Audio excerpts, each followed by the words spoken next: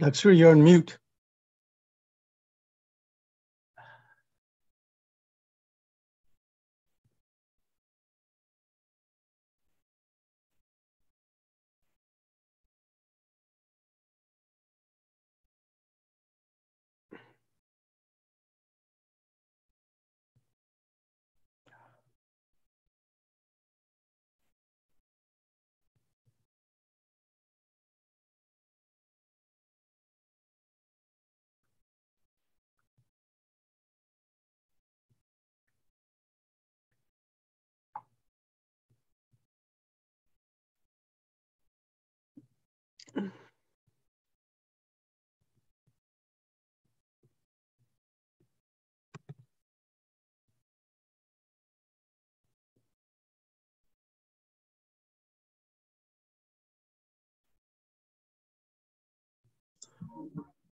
Sorry, I think Dr. Sri had some difficulty, so uh, we'll let him join us shortly.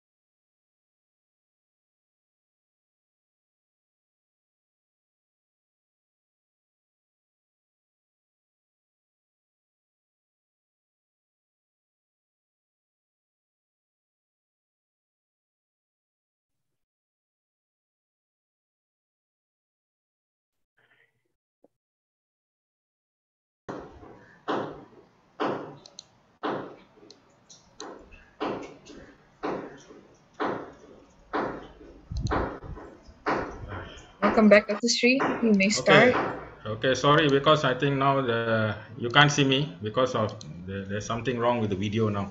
Okay, a very good morning, uh, ladies and gentlemen, and to our friends in uh, the island of Bintan, Dr. Wan, Che Emilia, and uh, Dr. Frederick from Batam Island, and also a very good evening to Dr. Roshdi, the founder and CEO of iPortal from New York.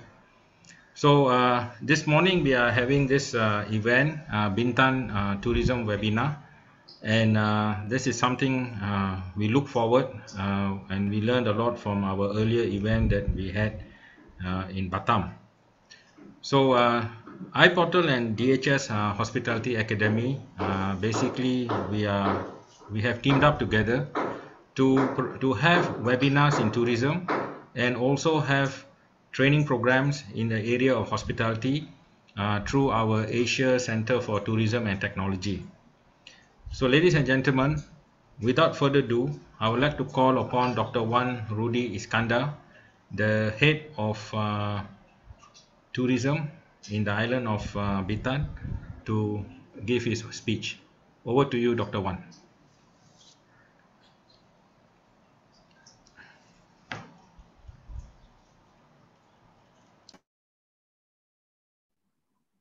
Halo, selamat pagi.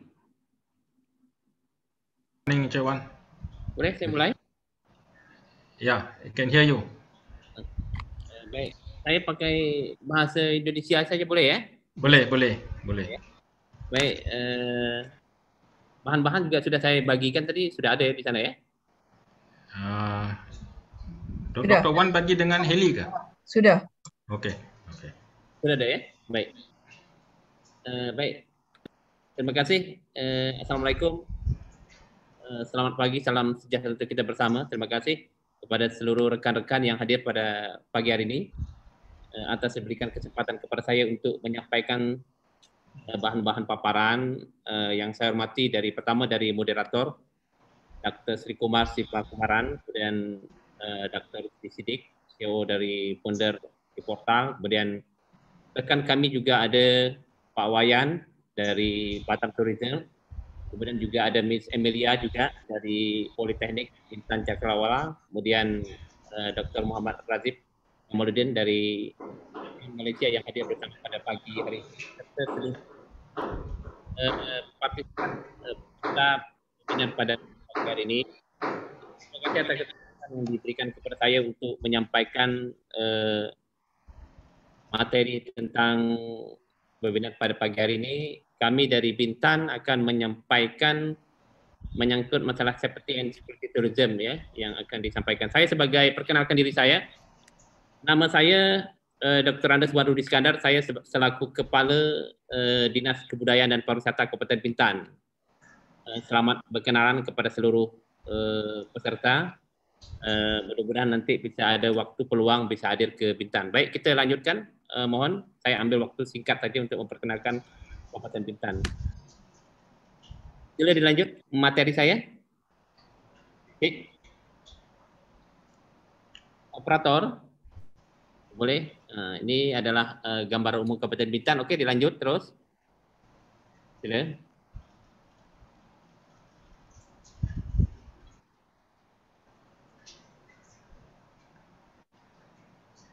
Uh, Heli, you have to change. Uh, okay. okay.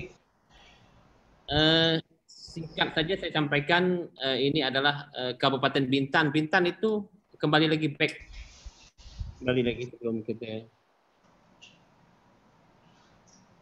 back again.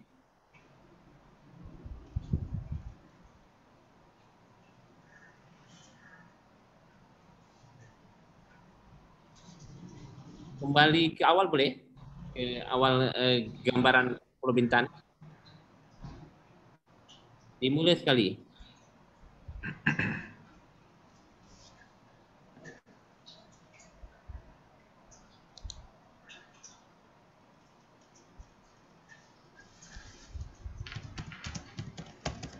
Halo, oh ya. Mana ini bagi dulu saya kasih gambaran. Baik. Uh, Cici dan Puan yang saya hormati, uh, saya nak beri gambaran tentang kondisi Kabupaten Bintan. Kabupaten Bintan ini dia punya wilayah adalah sebuah kawasan yang dekat eh, perbatasan border ya. Eh, di atasnya ada Malaysia, ada Singapura. Kemudian dekat selatan itu ada wilayah uh, Daik Lingga, kemudian juga ada perbatasan. Kami punya batasan itu sampai ke Natuna, sampai ke Kalimantan, jadi cukup laut. Sebagian besar uh, wilayah Bintan ini uh, banyak sebagai besar hampir 96 persen itu wilayah laut, eh, sekitar 6 persen saja di wilayah wilayah daratan dia lah gitu. Jadi memang makanya potensi pariwisata dia lebih mengarah kepada eh, kawasan-kawasan yang bersifat eh, kelautan ataupun turisme yang bersifat kebaharian. Oke kita lanjut ini kondisi awal saja saya sampaikan. Next, kan?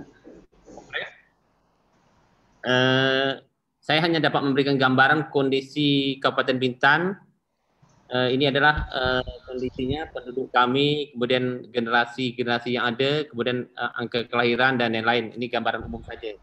Uh, dapat saya sampaikan bahwa uh, Kabupaten Bintan ini adalah sebuah kabupaten yang berada di Provinsi Kepulauan Riau, Riau Island ya. Dia terdiri dari beberapa kabupaten lain, ada Batam, ada Lingga, ada Natuna, ada Karimun, ada Anambas, uh, juga Batam. Jadi dia salah satu bagian kabupaten dari Provinsi Riau dengan jumlah penduduk dia mencapai lebih kurang sebanyak uh, tidak banyak hanya lebih kurang 165 penduduk saja 165 ribu penduduknya dan generasinya yang sudah cukup bagus sampai terakhir. Ini hanya gambaran umumnya saya sampaikan mudah-mudahan nanti Cici dan Puan bisa memahami kondisi Kabupaten Bintan ya. Uh, Oke, dilanjutkan saja itu kita next saja. Tidak? Next. Oke, lanjut next. Ini adalah kondisi gambaran karena kondisi eh, saya berikan gambaran bahwa eh, kondisi pariwisata Kabupaten Bintan ini yang tahun 2019 eh, itu kondisi pariwisatanya cukup bagus cik sekalian ya, eh, di mana eh, kami di tahun 2019 bisa mencapai lebih kurang 1,2 juta wisatawan yang hadir, tourism yang hadir ke Bintan dengan uh, ini ya 1,06 dengan jumlah wisatawan yang hampir mencapai ada yang berasal dari luar negeri maupun dalam negeri capaian cukup bagus tapi dengan kondisi pada tahun 2020 dan 2021 ini eh, pandemi mengakibatkan jumlah kunjungan juga menjadi berkurang. Kenapa? Karena memang pembatasan-pembatasan penduduk yang uh, jauh lah ya, tidak boleh masuk dan lain-lain. Uh, ini mengakibatkan uh, penduduk miskin juga semakin bertambah, kemudian pendapatan daerah kami juga semakin berkurang, kemudian pengangguran-pengangguran juga semakin berkurang. Tapi mudah-mudahan di akhir-akhir tahun 2021 ini dengan adanya beberapa program pemerintah PPKM yang boleh membukakan kawasan wisata kembali, insya Allah ekonomi di Kepulauan Riau ataupun di Bintan akan semakin baik pada masa yang datang. Oke, kita next gambaran umum saja saya, kasihkan gambaran. Tidak, Cik.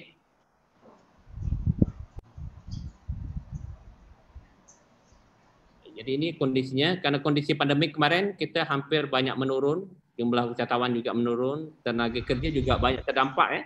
Eh, banyak terjadi pemutusan hubungan kerja, kemudian juga pendapatan sektor pariwisata juga menurun, ekonomi juga menurun sekitar hampir 4% turun.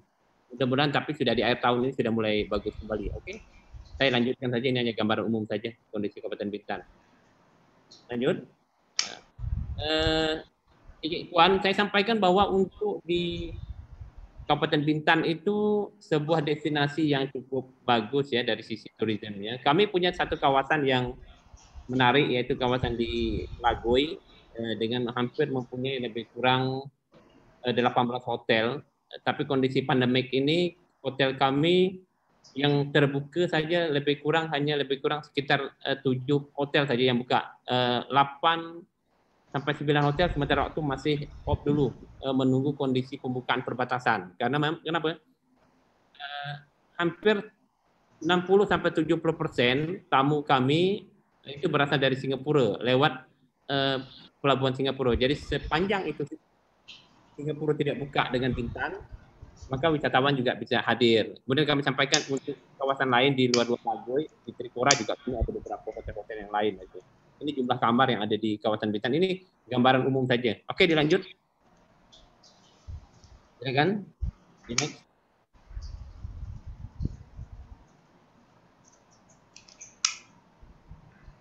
Uh, Cik Puan, jadi uh, untuk strategi utama lah ya, pemulihan pariwisata Kabupaten Bintan, kami melakukan beberapa hal karena uh, kondisi dampak COVID kemarin yang kita lalui, ada beberapa yang kita lakukan. Pertama, ada program yaitu Safe Travel untuk meningkat rasa aman bagi perjalanan wisatawan.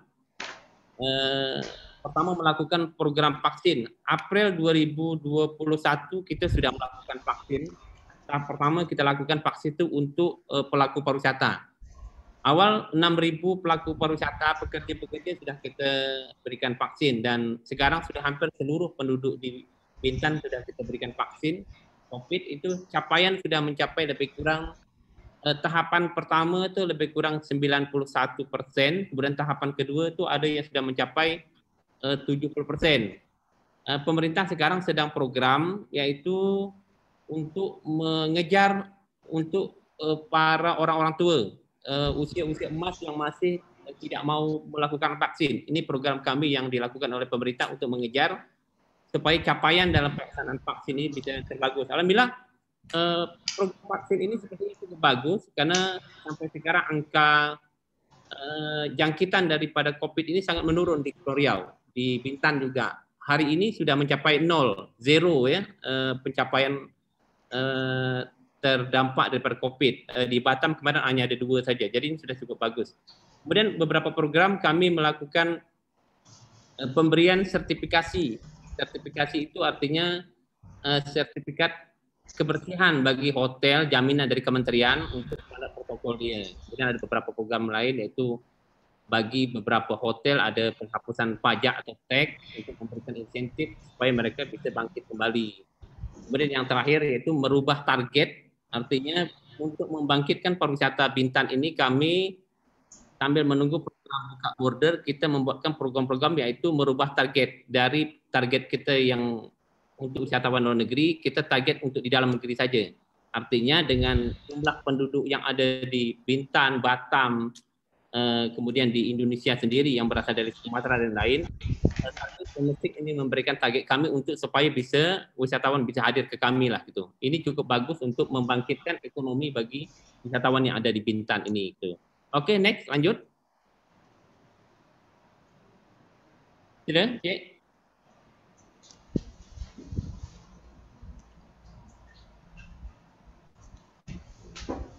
Nah, ini ada beberapa program yang kita lakukan, yaitu dengan memberikan kode, kode lindungi, scan, kemudian untuk wisatawan yang hadir bisa mendapatkan beberapa program-program di hotel-hotel yang kita lakukan. Oke, dilanjut. Silakan. Ini hanya beberapa item saja yang kita lakukan. Next. Uh, kemudian uh, sekarang pemerintah memberikan uh, beberapa kebijakan untuk membuka. Ini yang penting untuk di samping kami tadi mengupayakan perjalanan Indonesia itu di dalam domestik saja yang hasilnya cukup bagus. Sekarang eh, capaian hunian hotel itu di tamu-tamu yang ada di Bintan itu akhir pekan itu capaian sekitar 80% ada walaupun dengan beberapa pemberian kemudahan yaitu pertama diskon harga dan harga domestik dengan harga yang biasa itu juga berbeda. Ini memberikan uh, tapi hunian sudah bagus dan banyak karyawan-karyawan sudah mulai bekerja. Beberapa uh, rencana yang akan dilakukan dengan travel bubble yang ada di Bintan yaitu uh, vaksin travel land yang rencana pemerintah Indonesia lakukan dengan Singapura. Uh, itu ada dengan pemberian vaksin uh, syarat-syaratnya harus ada uh, kartu vaksin kemudian sudah melakukan tes PCR kemudian ada skema PTL yang akan dibuka, kemudian ada memberikan asuransi, kemudian ketentuan visa. Oke dilanjut. Namun sampai saat ini kami sampaikan eh, program ini masih menunggu kebijakan di tanggal 29 ini. Eh, 29 November ini apakah akan dibuka tidak kebijakan? Karena sampai sekarang ini yang baru dibuka tanggal 29 November itu adalah dengan eh, ketentuan eh, bandara, artinya perjalanan dari eh, Singapura ke Jakarta kita di Bintan ini umumnya perjalanan ada melalui perjalanan uh, lewat uh, pelabuhan laut yaitu di uh, eh, BBT atau melalui jaringan ferry ya ferry terminal itu.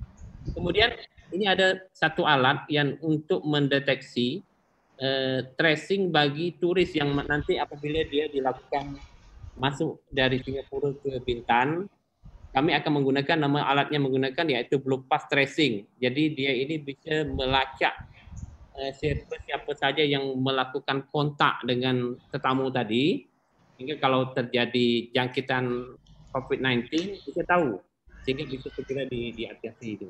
Kemudian ada program-program scanning pelindung dan lain-lain. Kami sampaikan bahwa untuk di ini ada Puan, Eh, Bintan memang sampai saat ini beberapa tetamu dari Malaysia itu kita belum punya pelabuhan yang bersifat khusus ya, yang masuk dari Johor ke Bintan belum ada. Yang ada itu adalah tetamu dari Malaysia itu masuknya uh, lewat Batam, nanti dari Batam baru nyebrang ke Bintan. Tahun 2019 kami sudah pernah mengupayakan untuk ada perjalanan dari Johor ke Bintan, tapi karena kondisi COVID Eh, program tersebut uh, kita berikan dulu awal. Mudah-mudahan nanti next di 2022 kalau kondisi juga bagus, kita coba nanti program uh, perjalanan dari Johor ke Lagoy Bintan ini akan dibuka kembali lah kita upayakan untuk ada rencana-rencana ke depan. Oke, dilanjut.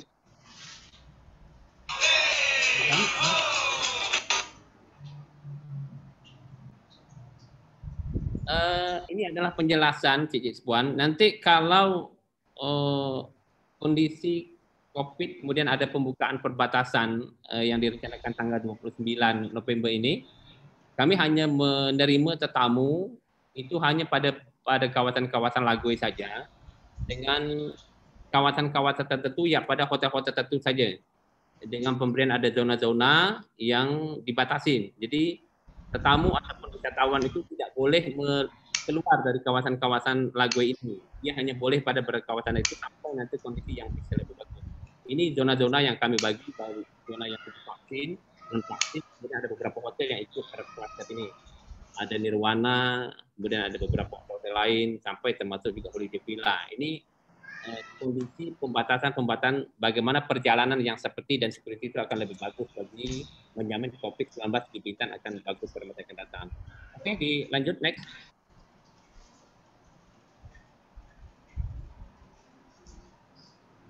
ini sudah kita lakukan tadi, eh, hal-hal yang kita lakukan tadi, eh, kita melakukan target marketing tadi, pariwisata masyarakat, berbagai masyarakat, kemudian eh, pasarnya kita ambil pasar domestik, tidak berjalan. Alhamdulillah sudah cukup bagus sekarang. dengan ekonomi yang sudah agak bangkit ya dibandingkan dengan kemarin pada awal-awal COVID mana uh, pasar yang ada itu tidak memungkinkan kita terima. Insya Allah nanti tanggal 29 kalau kondisi COVID apa kondisi pembukaan perbatasan jalan ekonomi akan lebih bagus. Tapi kami sampaikan bahwa tanggal 24 uh, Desember sampai dengan tanggal 2 Januari 2002 itu pemerintah kembali akan melakukan pembatasan perjalanan karena mengatasi kerumunan orang-orang dalam jalur banyak supaya jangan terjadi peningkatan COVID lagi ke depan. Sehingga nanti beberapa hotel-hotel hanya bisa dibatasi sekitar 50% saja isian dalam satu kawasan. Kemudian kawasan-kawasan tidak dibenarkan melakukan uh, perayaan tahun baru tidak dibenarkan uh, perayaan Natalan di tempat terbuka. Artinya pembukaan orang-orang dalam tempat ramai itu uh, government tidak membenarkan kegiatan-kegiatan itu. Oke, dilanjut. Next. Saya rasa mungkin uh, ini gambaran daripada beberapa uh, gambaran dari kondisi pariwisata. Artinya kami melakukan upaya-upaya supaya untuk membuka kawasan perbatasan pariwisata Bintan itu eh, program-program kita sudah lakukan eh, seperti perjalanan dengan membatasi tamu-tamu hanya pada kawasan-kawasan tertentu saja yang tidak dibuka dan tidak boleh eh, keluar dari kawasan.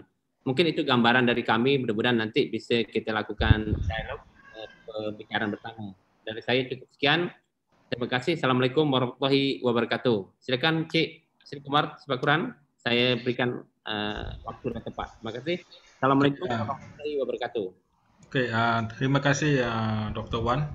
Uh, sekarang saya akan buat uh, summary yang apa uh, Dr. Wan uh, tadi uh, bentangkan lah. Okay. So, uh, ladies and gentlemen, uh, I would just like to summarize on what uh, Dr. Wan uh, mentioned in his uh, presentation. And, and this summary is what to my understanding. Okay. Uh, basically, Bintan is an island. Uh, it is uh, very near to Singapore, uh, Malaysia, and the island of Kalimantan. And 95% of uh, Bintan is in waters. Okay, it's basically an island, and they promote tourism. And most of their tourists are from Singapore. And uh, if somebody if uh, tourist wants to go to Bintan Island they have to go to Batam. And then from Batam they go to Bintan. There's no direct uh, ferry ter uh, terminal. But uh, they are trying to uh, develop one from Johor Bahru Malaysia to Bintan Island. So Bintan the total hotels in Bintan is about 60 over and they have about 4,000 over rooms in Bintan. And in Bintan the COVID is controlled. There, there is no new COVID cases. And 90% uh, of their population has been vaccinated. And uh, Bintan is the first island in Indonesia or first place in Indonesia that has this blue chip. And uh, they're trying to have this travel from uh, Singapore uh, into uh, Bintan on November 29 on the VTL okay?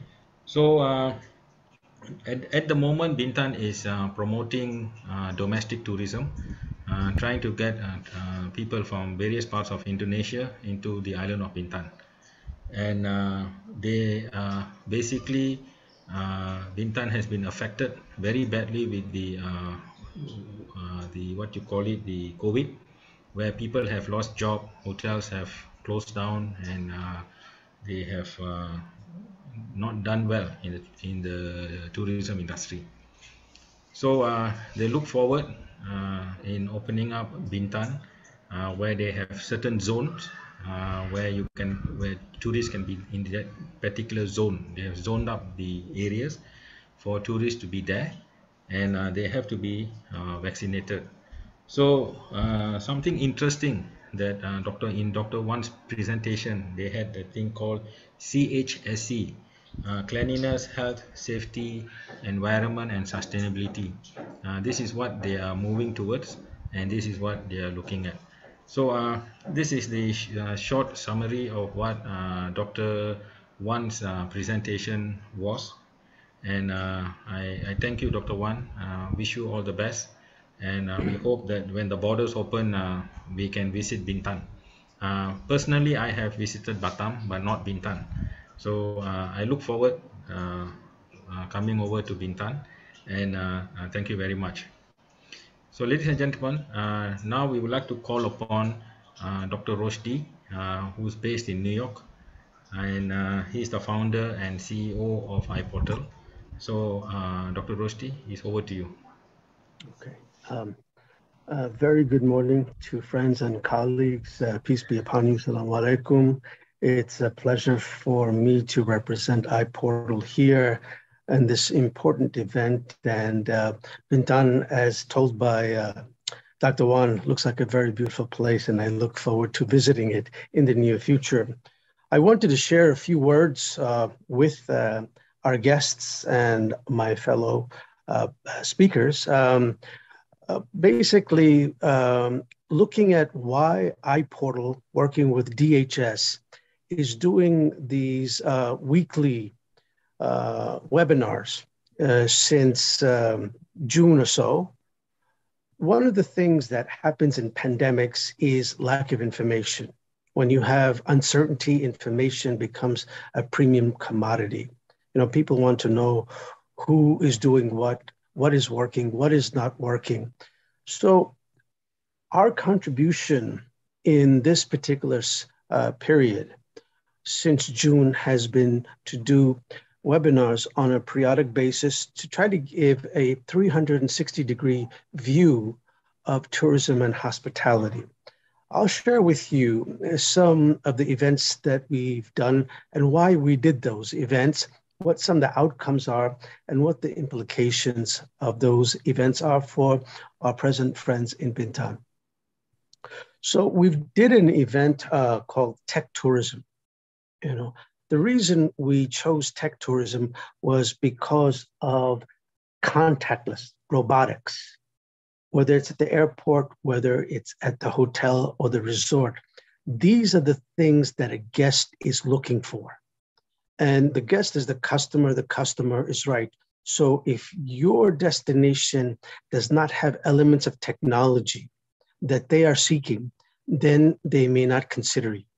So there was a lot of interesting outcomes from our tech tourism uh, seminar. So that was one.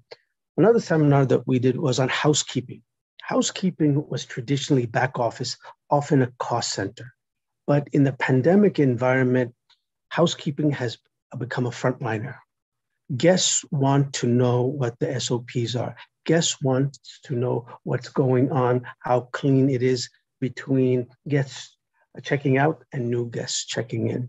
So housekeeping was an absolute uh, wonderful event. We had wonderful speakers, and we look forward to doing it again because this is important to paying guests. If you are not talking about housekeeping SOPs, what is being done, and answering their questions to their satisfaction, you will not be considered by the particular guest. International guests bring hard currency.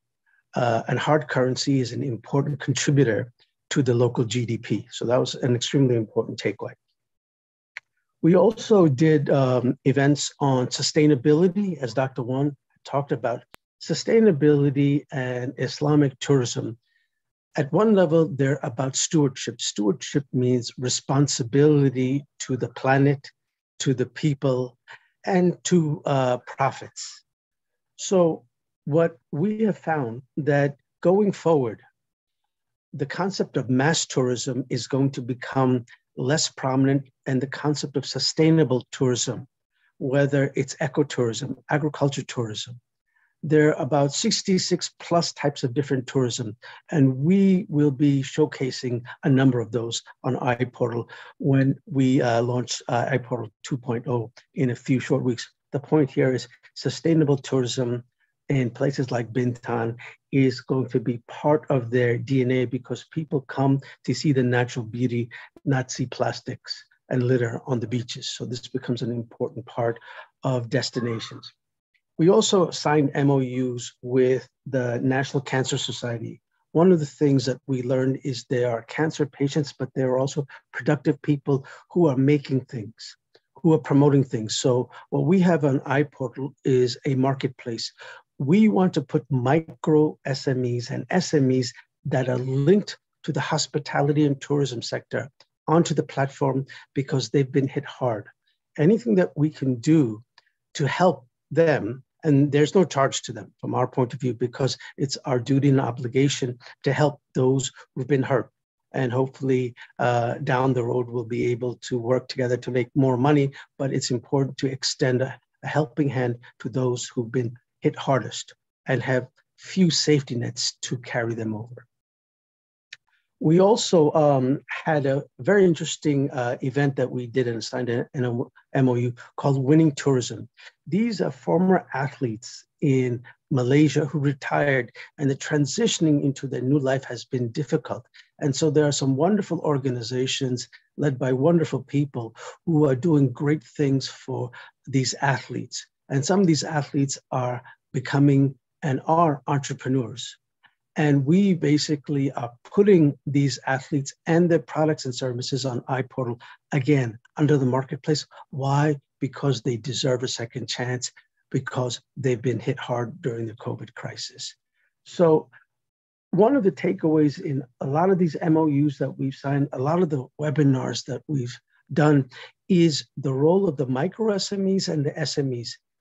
Traditionally, they've not been counted as part of tourism and hospitality.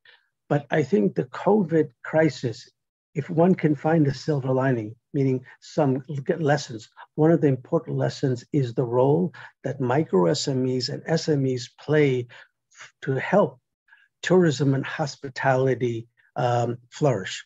So we want to do what we can, and we are doing what we can, and we'll do even more, whether it's in Batam or we look forward to working with Dr. Wan and the stakeholders of uh, micro SMEs and SMEs to raise their profile so tourists can find them faster and look at what they have instead of taking so much time in finding these souvenir shops, for example.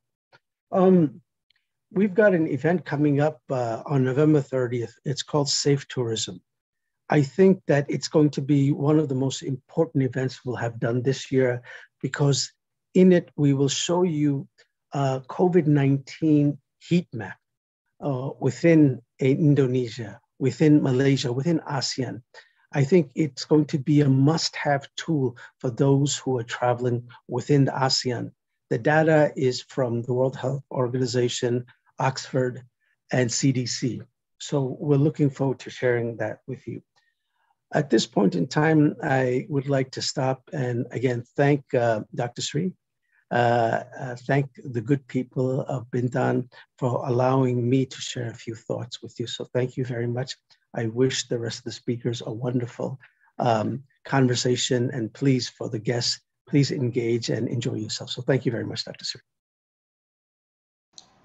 Thank you, thank you, Dr. Rosti. Thank you for the for the speech, and uh, I think it was uh, something very interesting and uh, we will also uh, like to uh, highlight here on our event on 30th of uh, November on safe tourism. Uh, we have great speakers on board.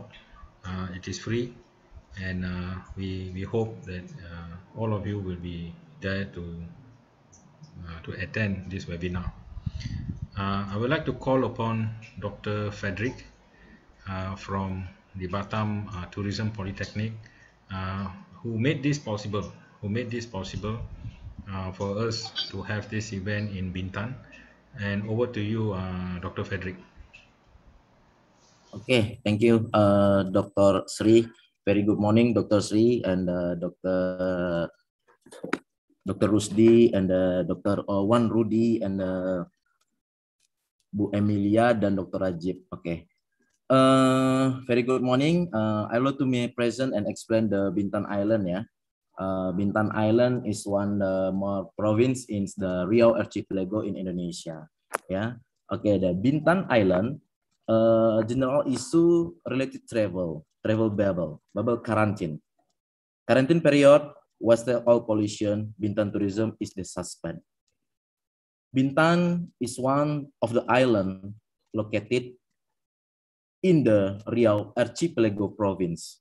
Yeah, in Riau Archipelago province, aside China in India. maritime trading route based on history. Bintan was on rule by the Sultan Mansur Shah, 14519 and 14166, and the rest of the become part of the Malacca Sultan and the was Dutch colony in 1911 and colonized by, by Japan in the 1945. Based on history, Bintan is unique, uniqueness in its natural potential, destination, and the marine tourism, yeah, marine tourism attraction. The uniqueness of the Bintan Island is that the consists of the over by European traders, free trade zone, the biggest salts, water swimming pool, sea trips. On the occasion of the today, ya kan, presentation, I will discuss about the travel bubble quarantine period, waste pollution, Bintan tourism is uh.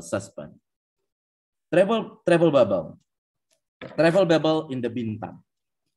As now as the travel corridor and the Corona corridor are essentially and exclusive the partnership between two or more countries that have demonstrated considerate success in the containing and combating the COVID-19 pandemic. Within their respective border, the Ministry of the Transportation of the Riau Archipelago Province, the government and the Kepri, Kepulauan Riau, have agreed to open a tourist area at the Bintan Resort as the pilot project for the travel bubble of the foreign tourists the location was used because the area is isolated, not directly affiliated to be community and travelable. Uh, next, the quarantine period. The Riau archipelago provincial government ensured the comfort and the safety of the tourists.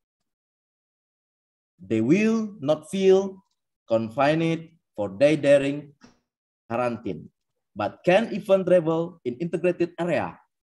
Early this week, the Singapore will apply the vaccinated travel line or the VTL scheme or a quarantine free travel land from Indonesia. It is planned that starting November 29, 29 November 2021. Indonesian citizen WNI warga negara Indonesia can enter Singapore and no longer need to be quarantined. But the visitor have been completed, completely vaccinated. Responding to this scheme, the Riau Archipelago government also to implement VTL for the tourists from Singapore. And next, the waste uh, oil pollution. Oil pollution the often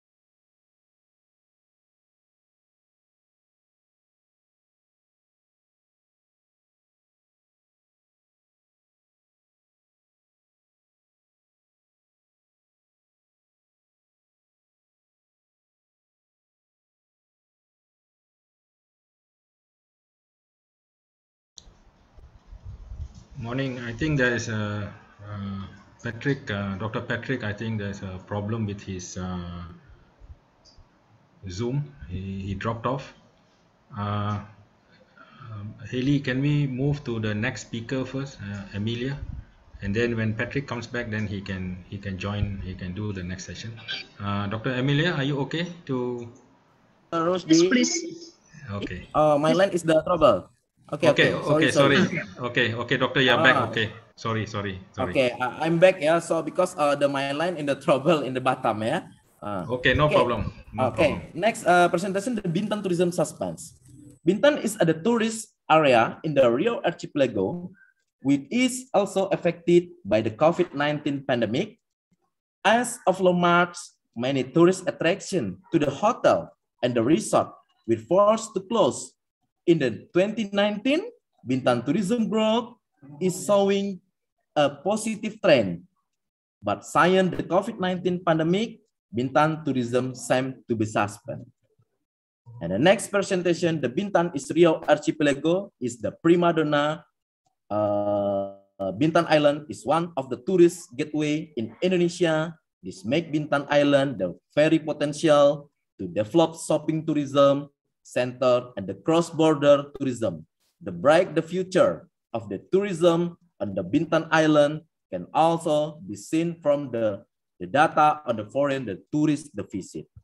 Okay, thank you Dr. Shi dan Dr. Rusdi and thank you for your time and opportunity. I close the Assalamualaikum warahmatullahi wabarakatuh. Salam pariwisata dan salam pesona Indonesia. Thank you Dr. Rusdi.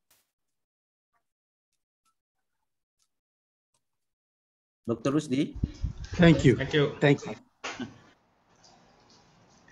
Thank you, thank you, Dr. Frederick, for the presentation on uh, Bintan.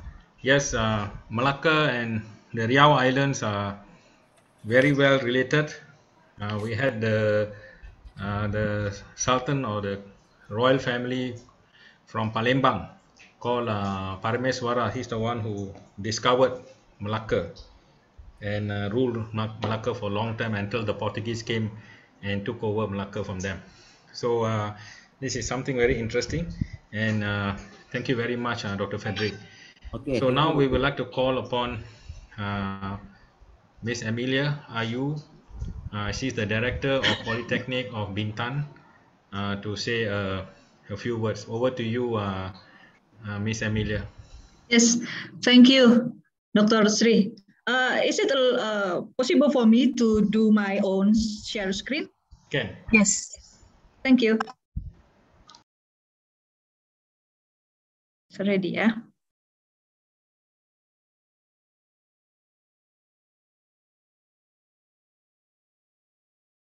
Right, Can you all see my screen?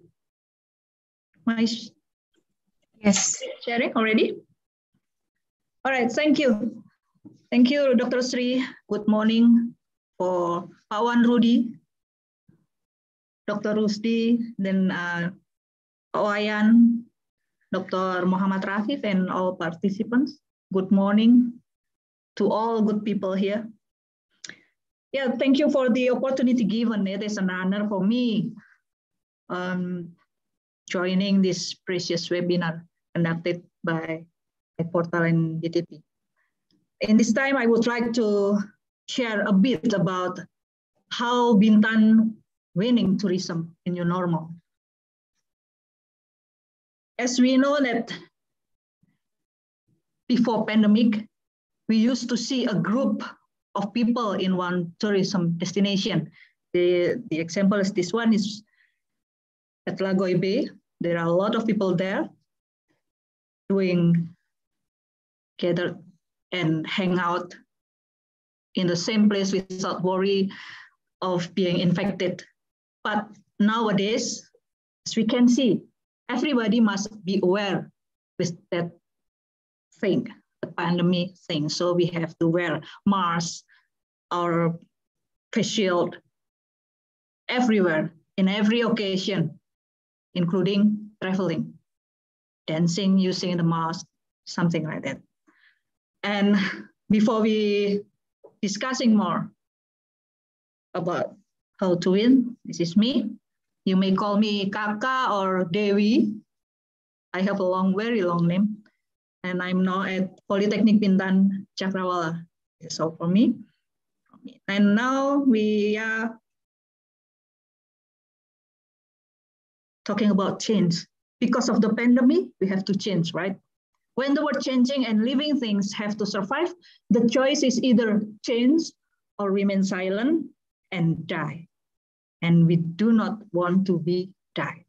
That's why we do changing. Let's see the sales graphic before and after pandemic. Before pandemic, we can see that there are 70%, 63%. And now after COVID, the sales team only got very low. And it all happened in around the world, not just Bintan. And this one is the transition curve.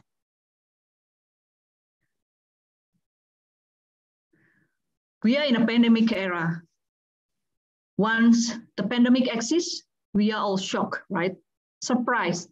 And after that, we are denied.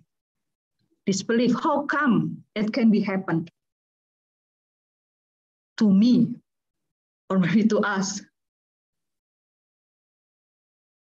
And then most people starting to frustrated.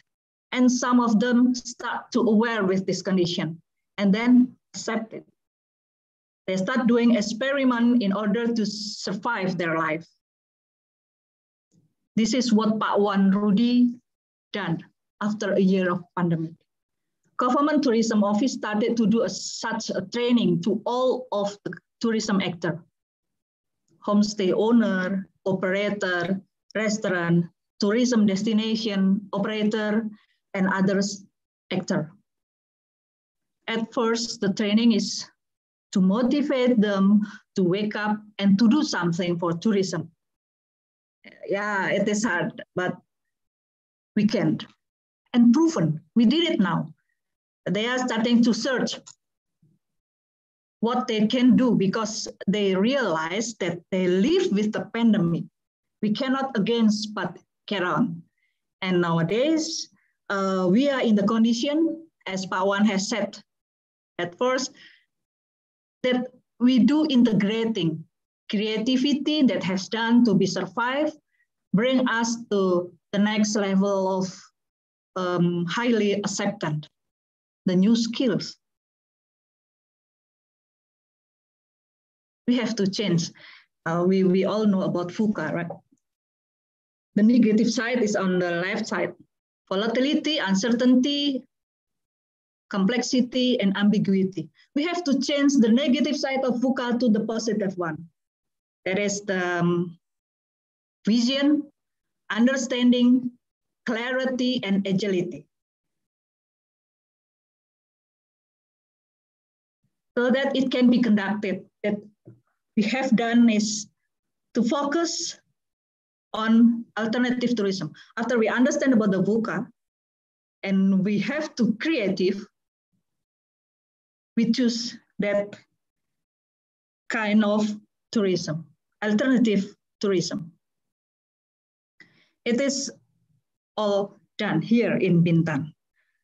He pushed Pak Wan, I mean, pushed the tourism actor to prepare the condition to face the this kind of tourism, alternative tourism, with a single families, friends, and focus on experiences, doing photography, learning local language with minimum um, tourist in one place, something like that. And now, when we are talking about business, tourism business, what business do we want to be during COVID-19 or in pandemic now? The zone already passed. Then learning zones is running now, realizing that we didn't create the, this situation, but we can manage our response to it. We review our communities to ensure um, our tone is appropriate. Our tourist destination is already do the certification of uh, as Pak Wan said before. And the last one is the growth zone. We adapt rather than resist. We stay calm now, take the ownership and understand that our faith is still in our hand. And what to do in order to be in a growth zone. We are now in a learning zone. And what should we do then? This one. We have a good communication between the tourism actor, the government, and also the tourist itself. We have the project planning and managing in a new normal, dealing with resistancy and ability to handle uncertainty. And can then we can do high performance in good interpersonal with creative thinking and being a role model. Bintan wants to be a role model to another island in Riau Archipelago. This is all for me. Please welcome to discuss. Thank you. Thank you. Uh, thank you, uh, Miss Amelia, or call you Kaka Amelia. Thank you. thank you. Thank you. Thank you very much. Uh, basically, uh, I learned something new today, and uh, the the thing that picked up my interest was on uh, alternative tourism. Yes. And I think what you have presented today is something an eye opener, uh, not for Bintan Island, I think this can be something that uh, we can do uh, for the tourism industry. Yes, as, uh, for sure. Okay. So uh, thank you very much. It was very interesting.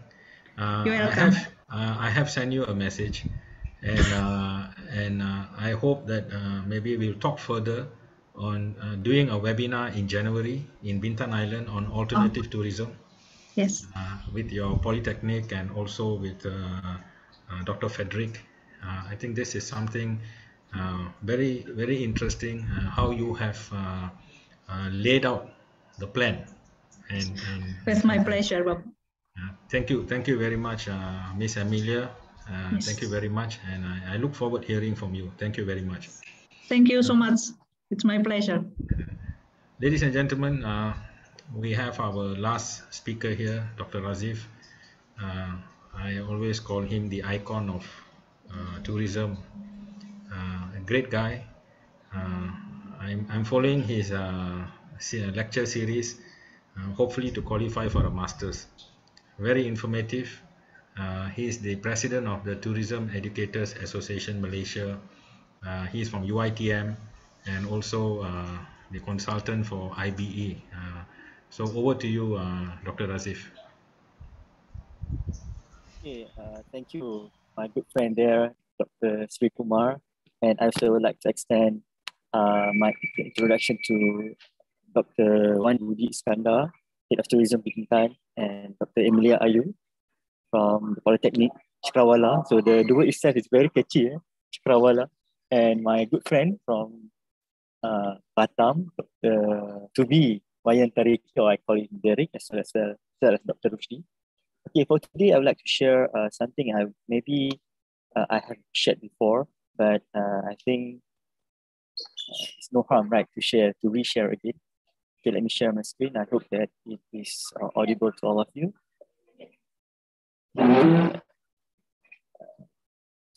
Okay, so today I would like to share on this island tourism, tourist segmentation post-pandemic. So because of uh, uh, because of looking at the topic that we discussed today, I think maybe we can start revisiting this topic. And in fact, I have one uh, study or research brand that focusing on Langkawi, and maybe in the future we can also share or exchange information on what best for us to you know to to, to uh, come up with something for this uh, future tourism outlook. Okay, for Okay, um, I tried to search information on Bintan Island and from the research, from the literature reviews, and I found out that Bintan Island is the fourth largest contributors uh, for tourism in Indonesia. And uh, you have about almost, you know, equal fair share of foreign and domestic tourism.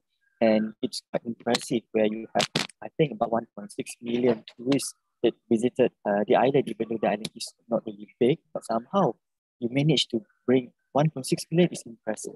And then major tourists from China, is about 35%, because from the literature search, uh, the paper mentioned about the Chinese investment in the island. So that's why uh, people from mainland love to come to China, uh, sorry, to Bintan.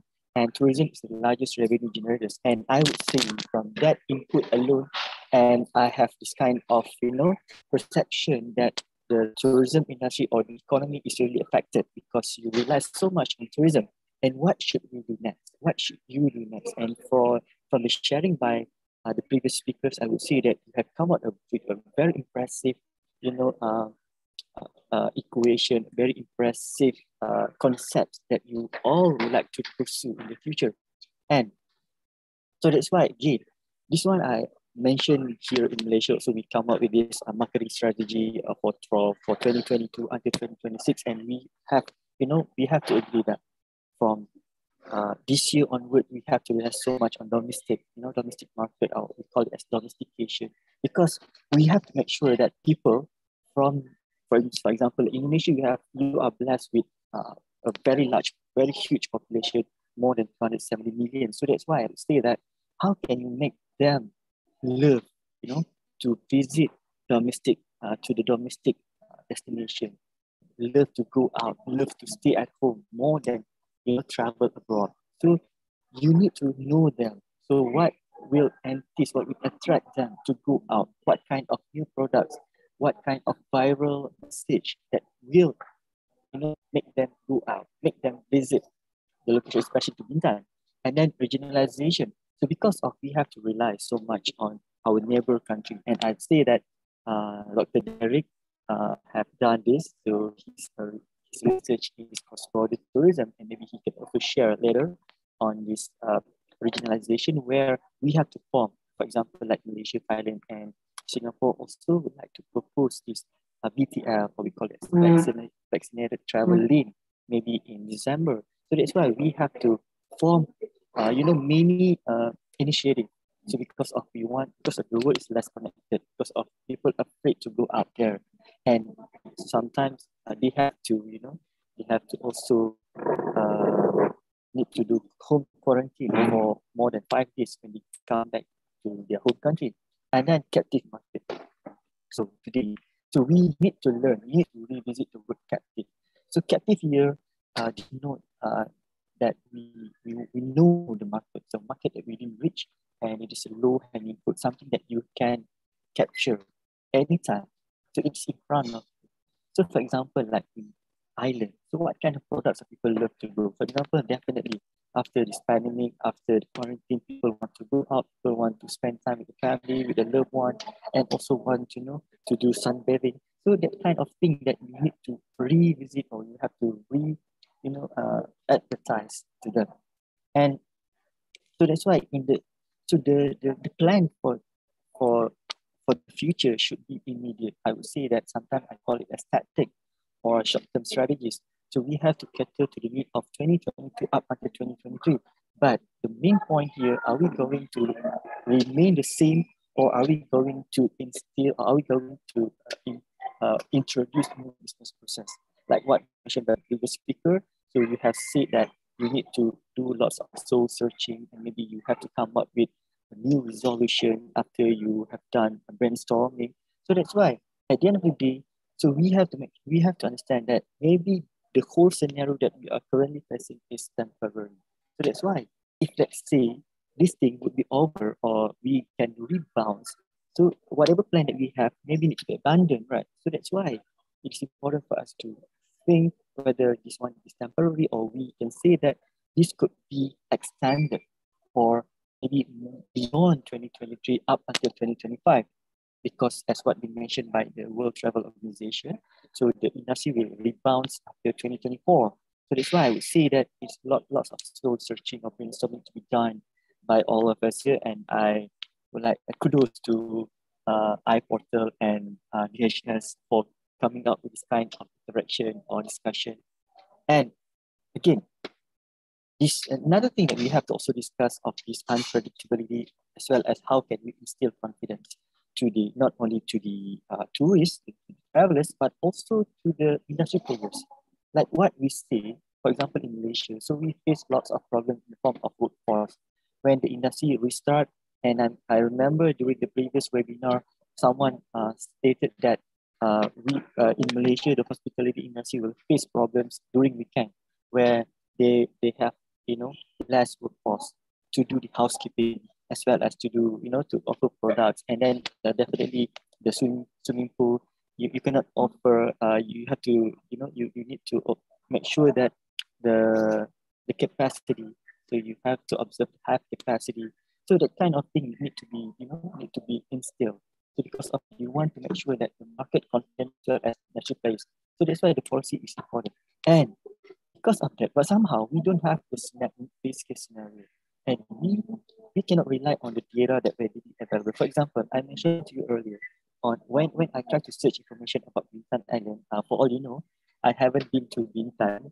Uh, so hopefully after this the whole pandemic is over, then maybe Dr. Sri and I, we can go to Bintan and visit the beautiful island in Bintan and I try to search several tourism products and uh, maybe about two or three products come come out.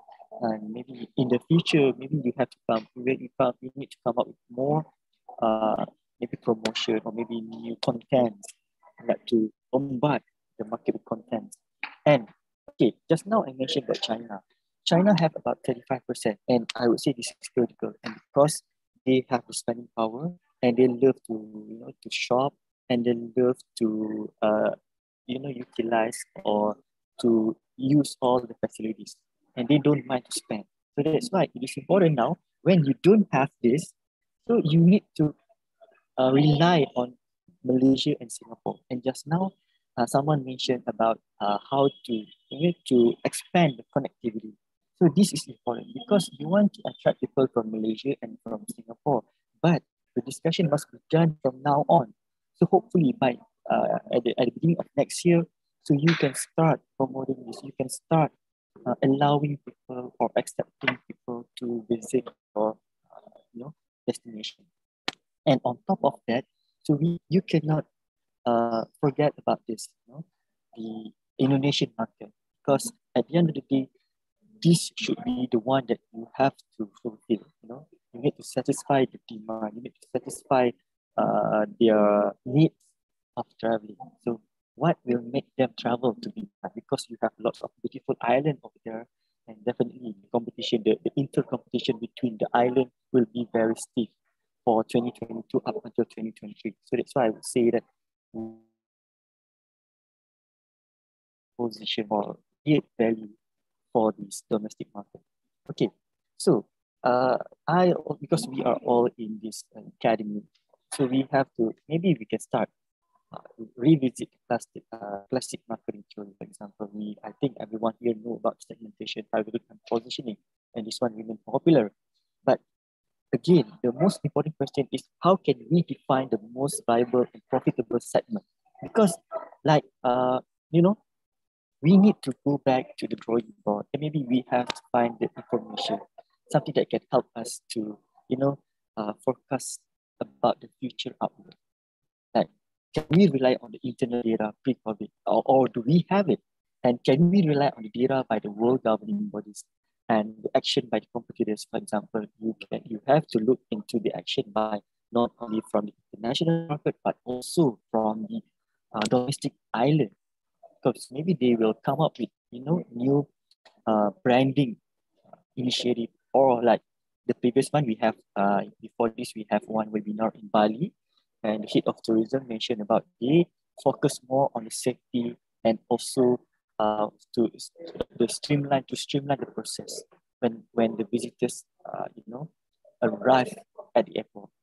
And findings in the research during covid-19 is really critical. From what i've seen or from what i've browsed i would say that maybe this one this one is quite limited for Bintan and maybe the the uh, tourism association or agency uh, or the local uh, government need to maybe provide grant for academia to come up with research, maybe a simple research to understand about the readiness of new products. So uh, about, you know, what will be their motivation. So we, we need that because it is important for us to assess the current scenario so that we, we, will be, we will be prepared of what will happen next. Okay, and then for this outlook in other disciplines of studies, so we cannot work in silence. So we also have to find several information that can help us to predict, forecast about its future tourism. And finally, this, this is important. And I would say that the, the use of technology, the social network, the mobile application is really critical. So we just we cannot just simply rely on the theory or the concept, everything nice on paper, but we have to deep, you know, we have to dive further to understand about what will be the content demanded by the user on how they, you know, their, their lifestyle or their behavior toward the content. Okay, so that's why the new like like uh, this is one of the case study that so far uh, no findings. So that's why I would say that maybe uh, the or maybe if uh, Malaysian local agency can provide grant so that we can uh, you know try to study the success uh, the success of this VTL coming this December 2021 so that we know maybe this one can be you know improved or can be expanded to other countries or maybe you know can be shared uh, what will be problems or challenges that faced by the industry players. And just now I mentioned about China market, right? Chinese market. So, Chinese market is different. I remember uh, last month I went to this one um, brainstorming about strategic marketing, uh, where we have these uh, tour operators that serve Chinese market. At the same time, we also have the marketing uh, association or the National Tourism Association that focus on Chinese Chinese market. And I would say that sometimes we feel that the, the information that we gather, that we search from the online, uh, you know, sufficient for us to do the future prediction. But I would say that actually there are lots more that we have to study because when uh, my, I, my friend and I, if Dr. C also know, uh, Dr. Zoe, so we have done one research. So this is one of the research that we have done to understand about the mobile application for Chinese market. And you know, Chinese market, they love to search, you know, they love to go to this uh, uh the word of mouth, electronic word of mouth, as well as they look into the comment uh, or posting, TikTok, uh, lots of application. So that's why from the uh, word frequency, so this is one of the popular uh, research methodology in China where they, when they start off the, the research, especially for the social science study, they will start by looking at the keywords, you know, the word frequency before, they can come up with theme. From there, they will start, you know, dive into uh, several uh, concepts or uh, frameworks. So that's why, for example, like this, when because China starting from maybe after this COVID, so this is what I've heard. So they say that uh, the, the, the government will not allow uh, outbound tourism, maybe up until uh, Winter Olympics. Maybe meaning after 2020, maybe the government will allow because of for safety and because of they want to you know promote uh, inbound to, uh, the, the domestic tourism. So that's why. But somehow at the end of the day, we all of us here, we have to agree that uh, in China because they are a very big market and about more than uh, 50 million people travel abroad. So that's why they will increase in mobile application, number one. And number two, the free independent travelers. And number three will be the domestic tourism. So this will be the thing that we have to understand. So we have to put into equation before we can do prediction or before we can say that we want to attract people, uh, travelers from China. So so this data that I shared with you were the, uh, you know, the uh, word frequency that we uh, gathered from 2014 until 2021. So we can say that uh, this one is just for the uh, mobile apps for museum because of the study that we conducted. We want to focus on because uh, China, China, China government, uh, they started to you know promote this museum tourism And so because they want to increase uh, the appreciation toward culture. So, and so that's why this one I shared uh, last week, and I'd like to reshare again about this. So, so I maybe Bintan, people from Bintan tourism can start looking into this. So you, we have to understand that after this post-pandemic, people will travel about uh, one to five days and they will go because of they want to spend more for relaxation as well as they want to visit new places. So Bintan have lots to offer, but somehow at the end of the day, you need to make sure that the product that you want to offer, that you want to market should be new or should have been, uh, you know, have, have, have gone through several processes that you revamp the product. And okay, and for uh, senior travelers from our data, so they say that they will start off when they want to travel, they will, they will look into package tours before they, uh, you know, and go to the tour company. And not so many people, not so many senior travelers will do the free independent travel, traveling. Unlike senior travelers, you look into millennials, so there will be more FIT and less package tours. So you have to decide. So which one you want to serve? You want to serve both or you want to serve uh, the more purchasing power like senior travelers because they buy more, they spend more, and they, they're willing to, you know, uh, spend in these uh, package tours. So it's important right, because we want to benefit the uh, companies in the, the countries, right?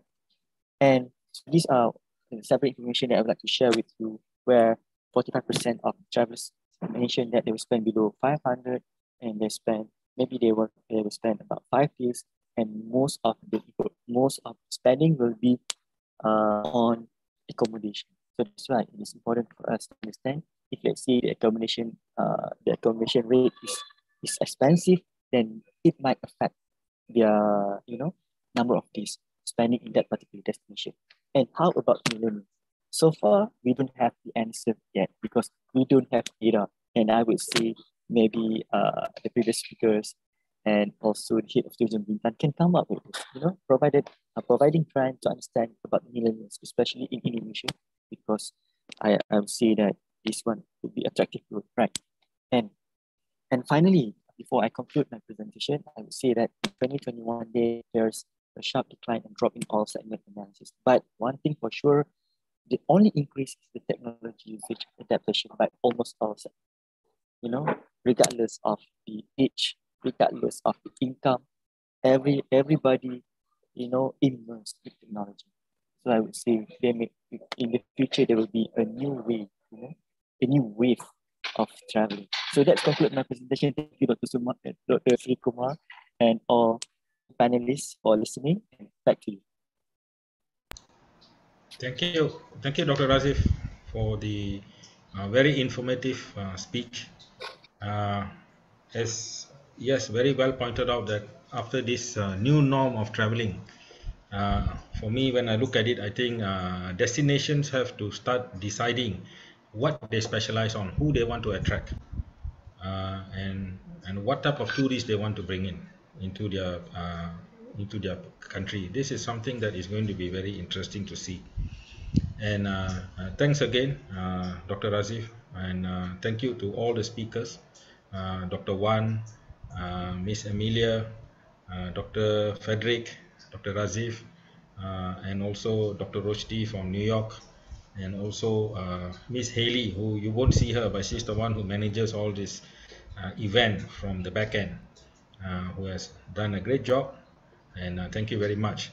Uh, tomorrow, ladies and gentlemen, we are having this uh, event in the state of Pahang in Malaysia called uh, Nature Tourism and we are also having in uh, uh, Padang, Indonesia on the 29th of November and 30th of November we have the Safe Tourism. This is another event of ours that is going to be held and we hope that all of you would attend this event. Dr. Razif is speaking in Padang and also in, in for the Safe Tourism. And we will also showcase uh, another few more events that we are going to do in December. In our next uh, event, we will showcase. Uh, we are moving to other states, and we look forward uh, for more collaboration with uh, in Bintan uh, with Dr. M, Miss Amelia's Polytechnic. We look forward for more event next year, more webinars. I think it's a good sharing session and uh, thank you very much uh, have a great day and stay safe thank you thank you dr sri thank you thank, thank you, you. nice thank meeting you, you dr wan nice meeting you nice to meet you all. Thank you. Terima kasih. Thank you. Thank you. Terima kasih. See you again. kasih.